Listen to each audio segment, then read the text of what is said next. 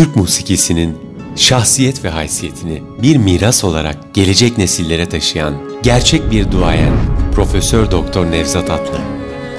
Musiki aşkı 1925'te dünyaya geldiği aile ortamında başladı. Üniversite yıllarında bir yandan tıp fakültesinde eğitim alırken bir yandan da üniversite korosunda keman çaldı, şeflik yaptı.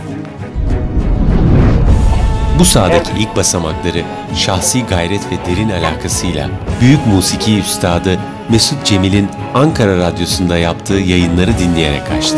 İlerleyen yıllarda ikilinin İstanbul Radyosu'nda birleşen adımları Atlı'nın sanat hayatının zirvesine taşındı.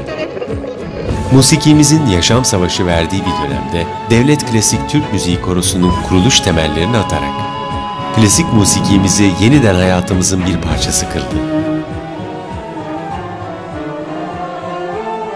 Diplomalı mesleğinde röntgen uzmanı bir doktorken profesörlüğünü musiki alanında aldı.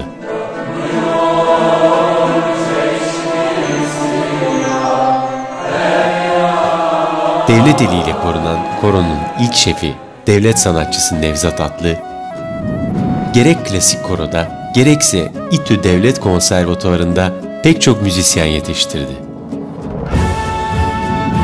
Devletin Türk müziği politikalarını belirlemesinde önemli rol oynayan büyük üstad, musikimizin gelecek kuşaklara aktarılmasına adanmış ömrüyle Profesör Doktor Nevzat Atlı, Necip Fazıl Saygı Ödülü'nün bu yılki sahibi.